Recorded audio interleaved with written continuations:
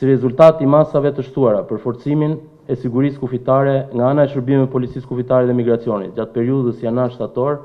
janë evidentuar në total dhe goditur 1427 raste të paligjshmërisë. Janë kapur 376 persona në kërkim, janë identifikuar dyqind e tetëdhjetë e pesë raste të përdorimit dokumentave të falsifikuara ose thënë ndryshe tridhjetë e tre për qind më shumë se në të njëjtën periudhë të vitit të kaluar, si edhe janë sekuestruar treqind e nëntëdhjetë e tetë dokumente të falsifikuara ose tridhjetë për qind më shumë sesa një vit më parë. Si rezultat i masave të shtuara në kufirin jeshil, janë proceduar penalisht tetëqind e nëntëmbëdhjetë shtetas, për kalim të paligjshëm të kufirit dhe janë kapur nga patrullat e policisë kufitare në afërsi të kufirit jeshil, në tentativë për të kaluar kufirin në mënyrë të paligjshme tetë mijë e shtatëqind e nëntëdhjetë e pesë shtetas, të cilët janë ndëshkuar me masa administrative gjobë.